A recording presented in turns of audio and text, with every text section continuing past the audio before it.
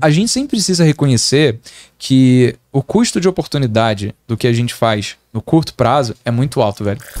O nosso objetivo aqui tem que reconhecer quais são as coisas que distraem a gente de fazer aquilo que a gente tá e sabe que tem que fazer, para que ah, quando a gente sinta a vontade de fazer essas coisas, abrindo mão de fazer aquilo que a gente precisa de fato, a gente desperte um red alert na cabeça, fala: "Opa, reconheço o cérebro que você está querendo fazer, eu tender a fazer isso daqui, mas agora eu vou fazer isso daqui que eu sei que eu tenho que fazer do mesmo jeito".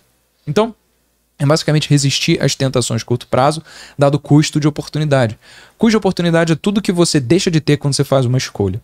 Então, te pergunto, Lô, qual que é o custo de oportunidade, por exemplo, tá? De você estar tá, é, solteiro. Você consegue, pensa assim... Custo de oportunidade de eu estar tá solteiro? Você está solteiro. O que, que você deixa de ter quando você está solteiro? Uma família, né? Sei lá, um mas você esposa. deixa de ter um relacionamento Sim. com alguém que é um relacionamento próspero e você vive momentos de muita proximidade. É, e às vezes viver momentos que só um relacionamento sério podem te dar. Sim. Qual que é o custo de oportunidade de você estar tá no relacionamento? É você não, não tá solteiro. Né? Não poder viver na farra, pô, na, na solteirice, entendeu?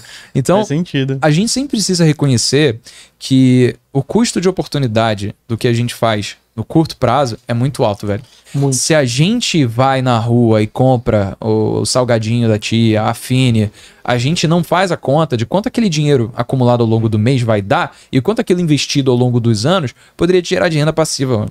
Às vezes você poderia se aposentar só de salgadinho que você compra, só de bolsa em liquidação, só dessas coisas que a gente fica tentado a comprar no curto prazo. Só se vive uma vez na vida, né? Só é, ah, vou estar morto amanhã. Porque a gente não tem a noção do quanto custa aquilo no futuro. Dinheiro no presente, cara, é, é, ele precisa ser investido, porque ele vale muito. Dinheiro hoje, agora, no presente, ele vale muito se a gente conseguir investir.